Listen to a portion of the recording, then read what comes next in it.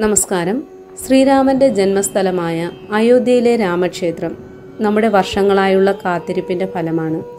ചരിത്രത്തിലെ ഏറ്റവും വലുതും പവിത്രവുമായ ഒരു ചടങ്ങിനാണ് രാജ്യം സാക്ഷിയാകാൻ പോകുന്നത്. നമ്മളെ സംബന്ധിച്ചിടത്തോളം വളരെ വലുതും മഹത്തായതുമായ ഒരു സംഭവമായിരിക്കും അയോധ്യയിലെ ശ്രീരാമക്ഷേത്രം. രാജ്യത്തിന്റെ പല ഭാഗങ്ങളിൽ നിന്നും ലക്ഷക്കണക്കിന് ഭക്തരാണ് ഈ ക്ഷേത്രത്തിന്റെ പ്രതിഷ്ഠാ ചടങ്ങിൽ പങ്കെടുക്കുവാൻ പോകുന്നത്. ഈ ധന്യമുഹൂർത്തത്തിൽ പങ്കെടുക്കുവാൻ ആഗ്രഹിക്കുന്നവരും അതുപോലെ തന്നെ എന്നെങ്കിലും ഒരിക്കൽ ഈ പുണ്യഭൂമി സന്ദർശിക്കുവാൻ ആഗ്രഹിക്കുന്നവരും നമ്മുടെ ഇടയിൽ ധാരാളമുണ്ട്.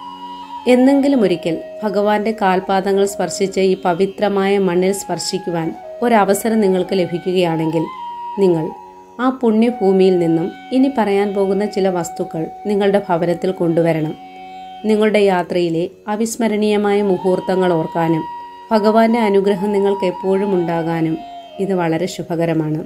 ഇനി എന്തൊക്കെ വസ്തുക്കളാണ് നിങ്ങൾ അയോധ്യയിൽ നിന്നും വീട്ടിൽ കൊണ്ടുവരേണ്ടതെന്ന് നോക്കാം.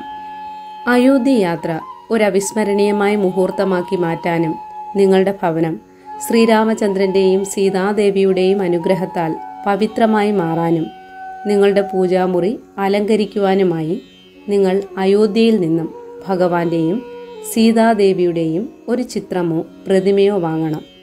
നിങ്ങൾക്ക് വാങ്ങാൻ കഴിയുന്ന തരത്തിലുള്ള പിച്ചള വെങ്കലം മറ്റു ലോഹങ്ങൾ എന്നിവയിൽ തീർത്ത പലവിധ വിഗ്രഹങ്ങളും അവിടെ ലഭ്യമാണ്. ഇനി പ്രതിമ വാങ്ങാൻ കഴിഞ്ഞില്ലെങ്കിൽ ഒരു ചിത്രമെങ്കിലും വാങ്ങി വീട്ടിൽ കൊണ്ടുവരണം.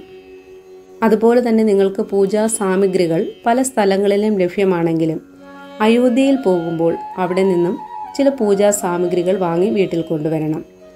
അവിടെ ലഭിക്കുന്ന കുങ്കുമം ചന്ദനം മാല തിരികൾ മുതലായ പൂജാ സാമഗ്രികൾ വീട്ടിൽ കൊണ്ടുവന്ന് പൂജാമുറിയിൽ ഉപയോഗിക്കണം. അയോധ്യയിലെ ക്ഷേത്രത്തിന് സമീപത്തായി ലഭിക്കുന്ന പൂജാ പാത്രങ്ങൾ വാങ്ങി വീട്ടിൽ കൊണ്ടുവരുന്നത് വളരെ ശുഭകരമാണ്. പൂജാ പാത്രങ്ങളും വിളക്കുകളും ശംഖുകളും മറ്റും ഇവിടെ നിന്നും വാങ്ങുന്നതും വീട്ടിൽ കൊണ്ടുവന്ന് ഉപയോഗിക്കുന്നതും വളരെ പുണ്യകരമാണ്.